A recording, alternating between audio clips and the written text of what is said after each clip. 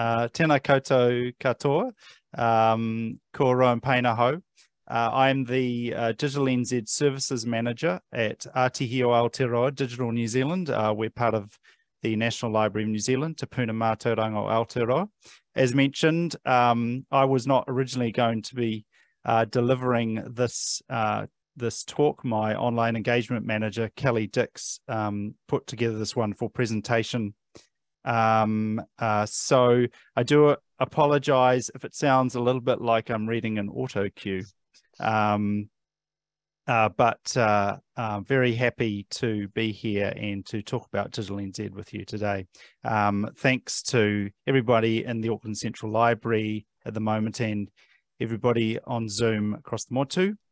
Um, uh, I'll just uh, read a couple of things that Kelly has written about herself, and then I'll sort of make the connection to myself. Um, although uh, um, we both now live in Te Whanganui-a-Tara, um, Kelly knows the Central Library well. She studied at AUT, and uh, many of her classes were in the building across the road from the library. Um, I actually worked at uh, at Auckland Central Library um, many many moons ago. Um, uh, uh, I had a number of roles finishing up in the as a library assistant in the uh, Auckland Research Centre. So it's it's a place I, I know well and and uh, uh, I've spent a lot of time in. Um, another place that Kelly and myself spent a lot of time uh, was Cafe DKD. This is a long long defunct cafe. this image of it from the Auckland Libraries um, uh, online collections, um, uh, long gone cafe. Uh, it was part of the civic building, um, overtaken by IMAX and and the like. Um, however, I'm jumping a little ahead of myself. Uh, my talk today will be quite practical: how to use Digital NZ, how to search and save items that interest you, and how to create stories using both uh, items you find and images that you have uploaded. Uh, I'll leave time at the end for questions, hopefully. Um, the, this website is primarily, primarily a search service which aims to make New Zealand digital content easier to find, share and use. Uh, when we say digital content, we are talking about a huge range of uh, material from uh, heritage, government, media, community and academic organisations, um, photographs, audio, video, research papers, uh, newspapers, websites, and much more. So this is what we looked like in 2008. You can still find uh, this on the Wayback Machine if you're interested. Um, uh, that's when we launched and pulled together, started to pull together the uh, online collections of many institutions. Uh, and this is us 14 years later we uh, pulled together more than 30 million items held by over 200 different organizations, uh, which we refer to as content partners. Uh, the uh, number of items in Digital NZ grows daily as new data is created and added to our partners' sites or as new content partners come on board, which happens on a regular basis. And of course, Auckland Libraries is, is, uh, is uh, one of those um, content partners. Uh, to do this, we do something called harvesting. We harvest the content that has been digitized by people and organizations. Uh, you can see them represented on the left of this diagram, uh, ranging from large collections such as Auckland Libraries, currently more than 400,000 items, to much smaller collections such as Awarua Communications Museum.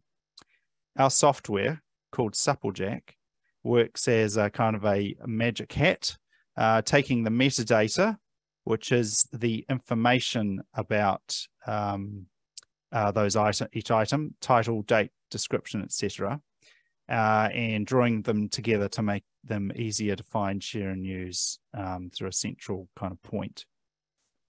Uh, you can see this search for, for the keyword coat brings up links to content from the New Zealand Fashion Museum, Te Awamutu Museum, Upper Hutt City Library, and more. I guess an important thing to note is that Digital NZ is not a repository. We don't actually hold the items, even though we do provide a thumbnail um, representation if one exists.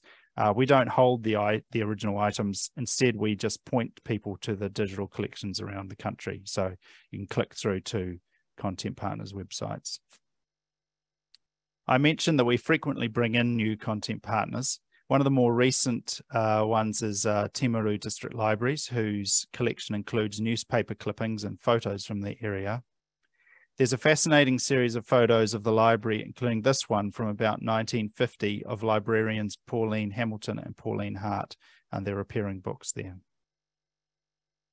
We recently added uh, Tapu Waka from Te Herenga Waka Victoria University of Wellington, and this includes photos of staff and students and also publications going back to the student magazine Spike from 1902. If you click through to the university's Heritage and Archives collection by, by going through into one of those search results, uh, then you can read the publications, including this article about the first inter-university college tournament where students competed in athletics, debating, and tennis. For those who of us who live in, in Wellington, the Wellington City Council Archives collection, a fairly recent con large content partner, um, has a fascinating insights into the region with aerial photos where you can zoom in really close to view streets and houses. Um, it's not Google Street View uh, quite, but uh, pretty good for 1945. Uh, this is a close-up of Kilbirnie Evans Bay from the air. Uh, and there's some well-known Wellington landmarks look, looking quite different to as they, they are now. This is the opening of the Mount Victoria Tunnel on 12th of October 1931. Loving the uh, loving the chairs there.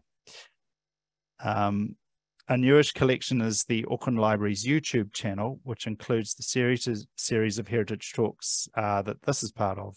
Um, this video explores pepper posters printed in Rarotonga in the 1840s that are now in, in the Auckland Library's collection. Uh, this collection is from 2022, but it's a huge one from Archives New Zealand, more than 30,000 photos taken from the National Publicity Studios uh, the fact that we pulled together such a diverse, uh, um, such diverse data is what makes us a popular tool for researchers looking to quickly find information from multiple sources. So why use Digital NZ? The website surfaces some collections that are trickier to find on Google and, and includes a trustworthy link back to the source of the content. So it's always easy to find where items have come from for example, on this record page from a CocoNet TV video about how to make umu in the city 101, click on the view original item button. You can see the red, red button there on the right hand side of the page. And you'll go through to CocoNet TV itself, where you can see uh, additional information such as the names of the people who worked on the video. Um, and in some cases, you'll be able to order uh, in a more sort of full resolution uh, copy of an image, for instance, um, by going through to the content partner. So how do you find what you're looking for when there are more than 30 million items to search through? It's a bit of a needle in a haystack type situation. Um, to search, you uh, simply enter keywords in the search box as, as you might expect. Uh, there are more than a million records in the search results if I type in railway station. Uh, obviously, this is not very helpful. However, there are a number of ways to narrow down your search results to help you find what you're looking for. All of this information about how to search Digital NZ, incidentally, is listed on our help page. You can see a link to it on the side navigation. There are other help topics too. Let's take another look at our search for railway station you'll see a series of tabs underneath uh, the search bar. These give you options to filter by format, uh, such as images or audio, and more, which includes some of the um, less used categories such as research papers, newspapers, manuscripts, websites, articles, books, etc. This is what a research paper item page looks like in Digital NZ. You can see the title of the research paper, the format, which is a, a thesis, master's level, and a date. You can also see part of the abstract there in the description field. Newspapers are another format available to search on Digital NZ. The majority of these uh, that you'll find have been harvested from papers past, which is another National Library website.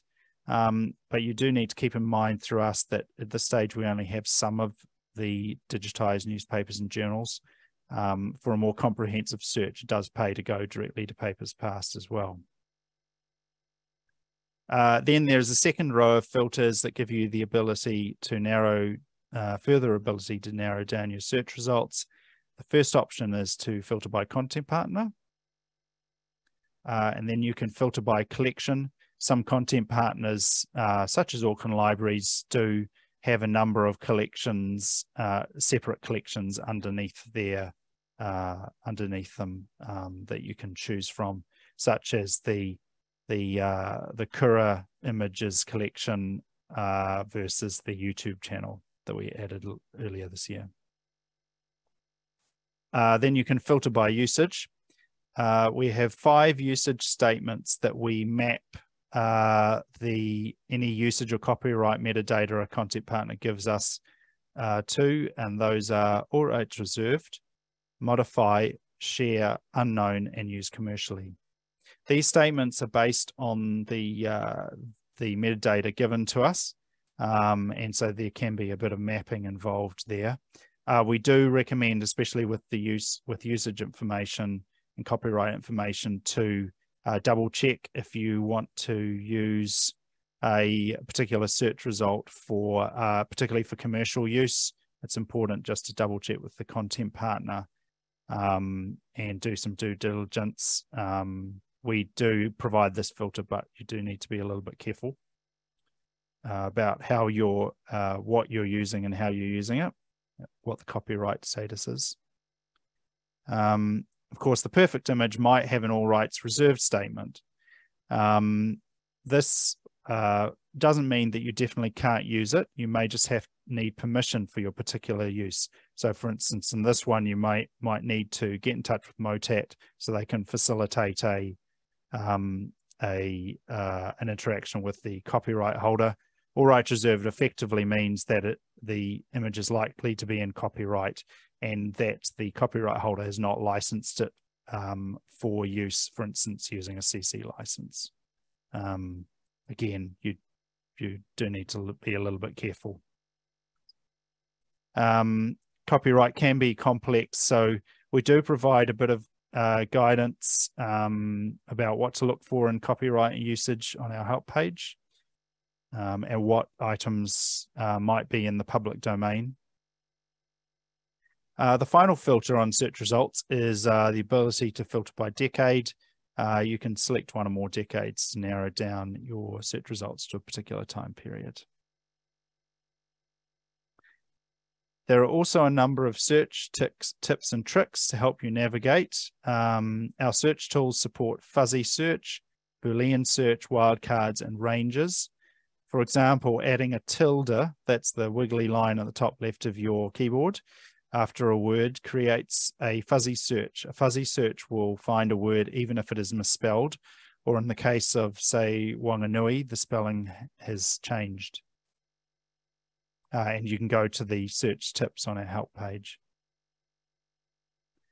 Um, you can see the uh, fuzzy search working here. So this is 56,900 images on the keyword whanganui uh, without the tilde.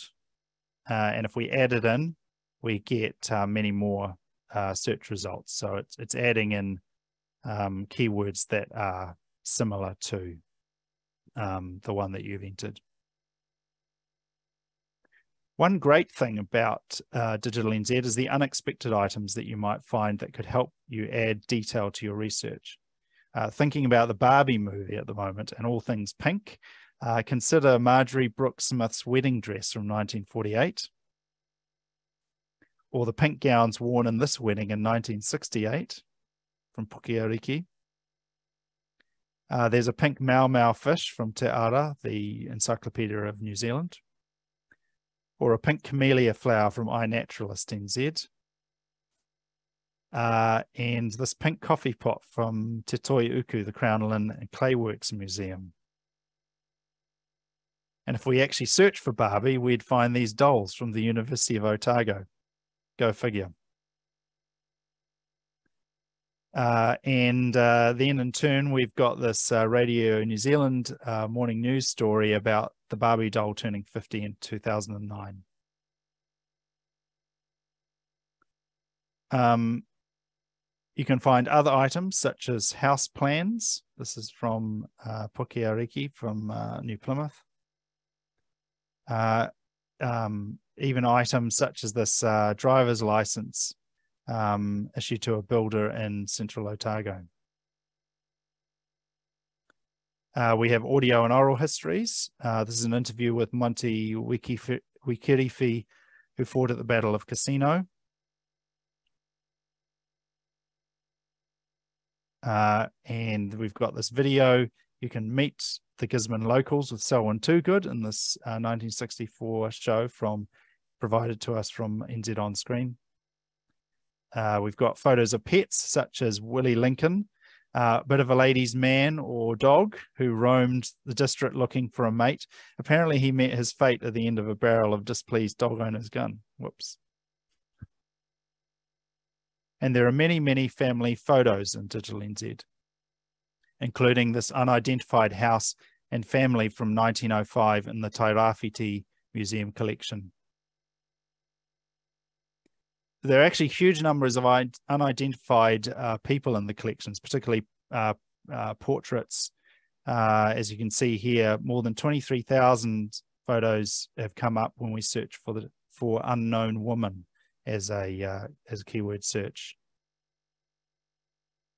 If you uh, do come across an item that you can add more information to, you can use the commenting tool um, at the bottom of a record page uh, you can see this user has added some more information about um, MZ Waller, who is named in the caption of this photo. Um, and uh, the user has added the comment, Maureen Zelda Waller, uh, later Bishop, worked in telephone exchanges most of her working life. The content partner, Palmerston North City Library, can add this information about that image to their database. And we usually uh, facilitate that they'll make the change on their system and then we uh, rerun that harvesting process I'm, i mentioned earlier and uh, either add or correct information that uh, content partners have provided us. If you don't have a Facebook account and you do and you want to uh, do that, make a correction or add more information on an item, feel free to get in touch with us. Uh, most of us work in the National Library building, Wellington, um, which is looking quite impressive in this uh, photo from the Fletcher Trust collection of 1987. Uh, our email address is info at digitalnz.org. So that is part one of the presentation uh, about searching and filtering. And next, I'd like to talk to you about stories. Um, one of the wonderful things about our service is the stories tool, uh, you can create or curate your own story using items from the more than 200 content partners that we provide access to. There are currently more than 8,000 stories on Digital NZ. There are stories about Pacific patterns, sheepdogs, New Zealand and Samoa in World War One, um, and many, many more. They've been made by a wide variety of Digital NZ users from students uh, through to academics, heritage organizations, and researchers. Anyone who is interested in uh, in in something and wants to gather together a number of items um, uh, from our collections. Next, I will show you how to make a story. Uh, you don't need to sign up to Search Digital NZ, but you will need to sign up to a, a free account to create stories. You sign up in the top right corner, uh, add the usual details, name, username, etc. Uh, click the confirmation link in the email that we'll send out to you that looks like this. Uh, and then to start making a story, uh, search for something you're interested in. Uh, I've searched for women's soccer, but it would be good to search for women's football too, as the sport is known in New Zealand by both names. Uh, here we find that we've got 80 images come up. Um, perhaps this number will increase after the um, after the uh, the events uh, going on at the moment. Uh, so look for an item you'd like to add to start your story. Uh, I'm going to start with this newspaper image of a photo of two women's football captains. Um, uh, you can add to the story here by clicking the add to story uh, button there that's uh, highlighted by the blue arrow on the search results page. Or you can do the same thing uh, by clicking the add story button on the actual record page if you've clicked through to a search result. Uh, then you'll get this dialog come up and you can choose an existing story that you've already uh, created or create a new one. You'll see that that come up in the list. Uh, so this is only when you're logged on, obviously. Uh, you've signed up and logged on. Uh, to see the list of your stories, click on the username when you are logged in at the top right-hand corner of your screen. Uh, looks like the slide is blank, but I think hopefully the next one. Um, uh, no, we might see uh, the, I'll point, point it out uh, when we get to a slide that has that. Um, once I've created the story, it will look like this. You can see the photo I've added in the bottom left of the story. Uh, there are a number of fields at the top, uh, which are all conf configurable by you. You can enter your own title, you, uh, your own description and subjects. Um, uh, as de so as detailed here. Um, when you first start a story, the uh, uh, Digital NZ team will moderate the stories, but once we've checked um, uh, checked it out, you can manage change access of your story. Um, so that if you click manage or change access in that screen, you'll get these sharing settings, um, which means that you can control who can see your story. So uh, there's public, hidden, or private. Public means that it'll, it will turn up in a search of Digital NZ once we've moderated it. So, uh, for example, that search of soccer that we that I did earlier, um, this new soccer story would turn would show up there, so other users of Digital NZ can see your your story. Uh, hidden means that only people with the direct URL, uh, so you can share a direct URL and only those people can see it.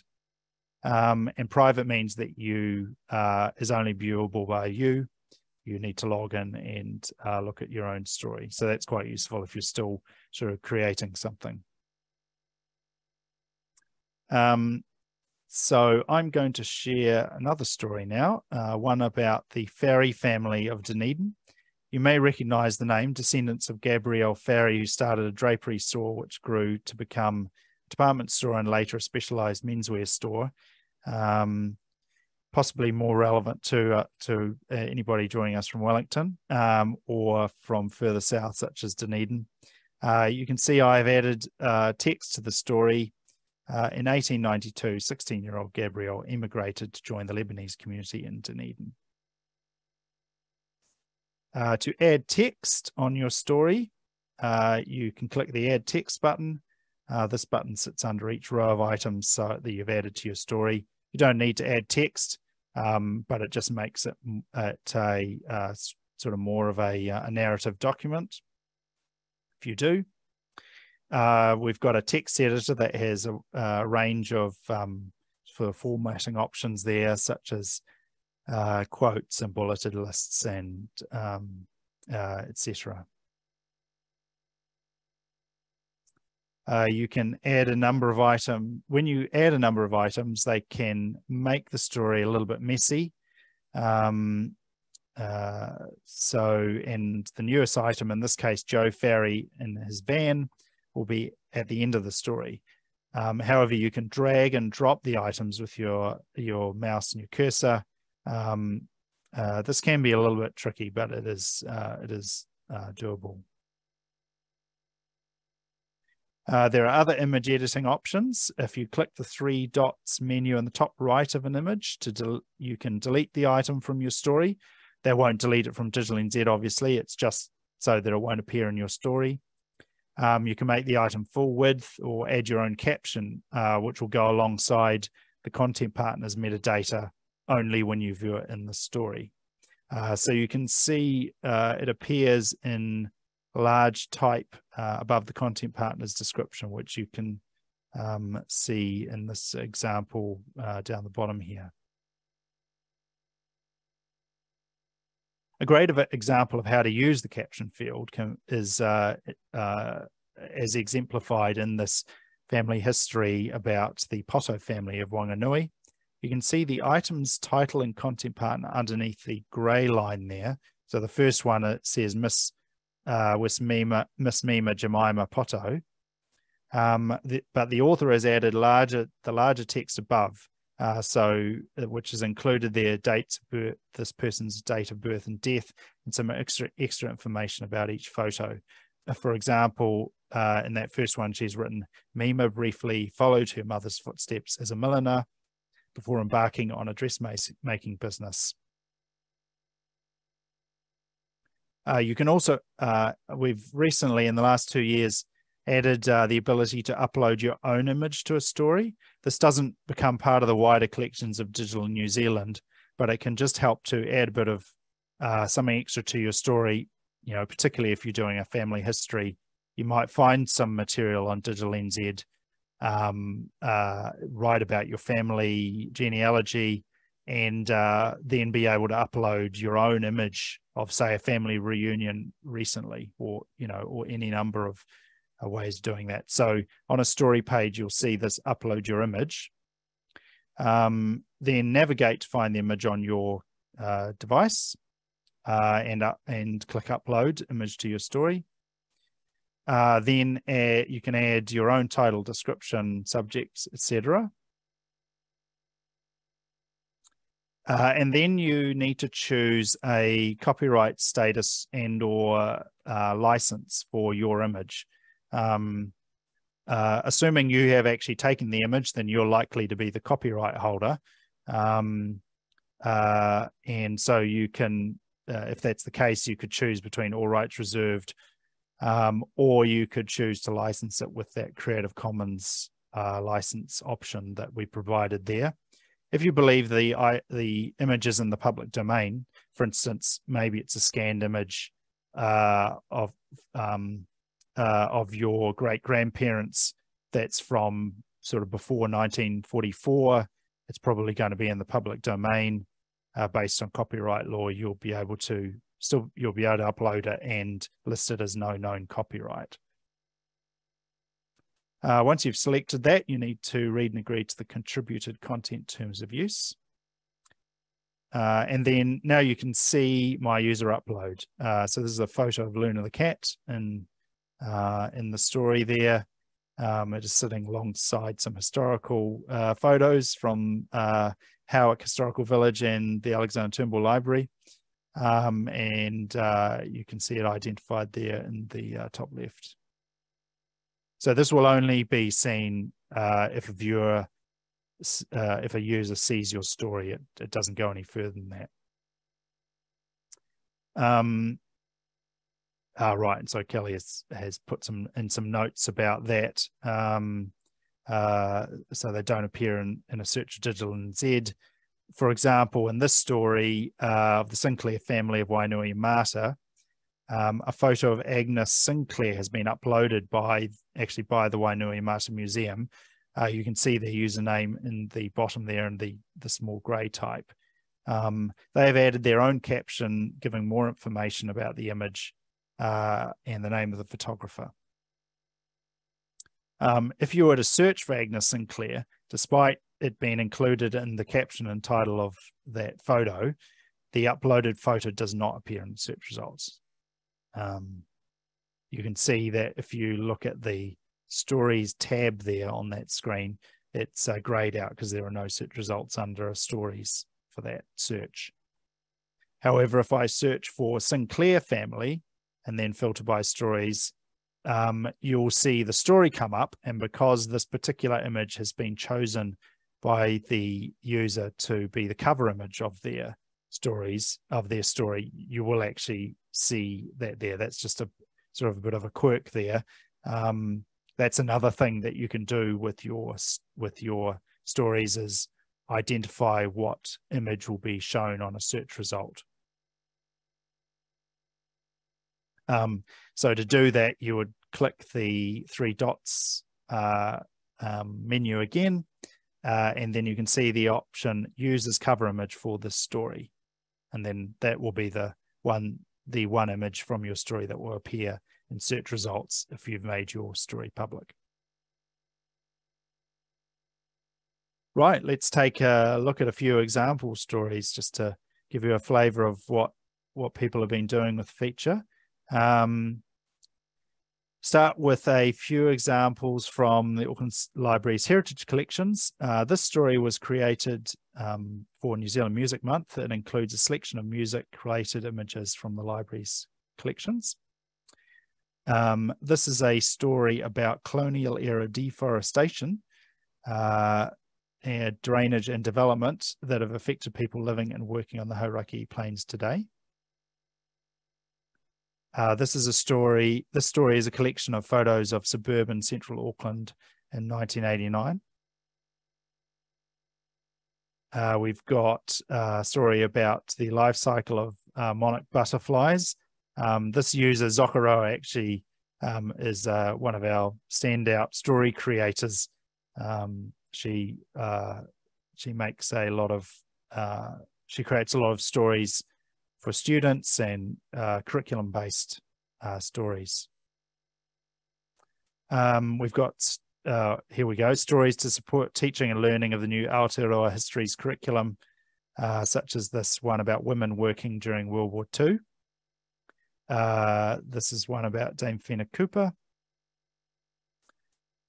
Uh, and this is a screenshot of the story with photos from Auckland War Memorial Museum video from NZ On Screen and a booklet titled Why We March from Manatū Taonga, the Ministry of Culture and Heritage.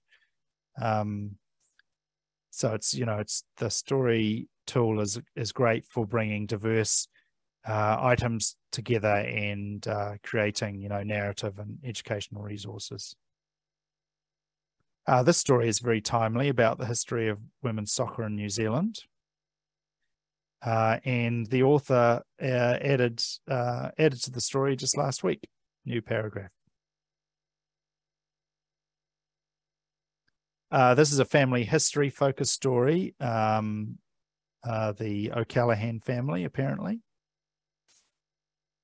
Um, and you can see in this family history story, the author has uploaded family photos and added information to the caption. So sort of what I was suggesting before as a, as a potential use of the upload feature. Uh, this family history is a good use of ephemera, uh, ephemera collections to provide context. In this case, a series of immigration posters and newspaper advertisements of the type that his ancestors may have seen in Scotland. Uh, this story also shows how text links can be used to provide further information or a reference so if you click on the text link uh, to the 1902 book, uh, Wanganui's Old Settlers, you can see the digitized version of that book in the uh, Victoria University Wellington, of Wellington collection. And here on the second line, you can see the reference to his ancestor on page 22 there. And to end, some selfies and I believe uh, that is uh, yes, that's the end of Kelly's slides. Uh, kia ora and thank you very much.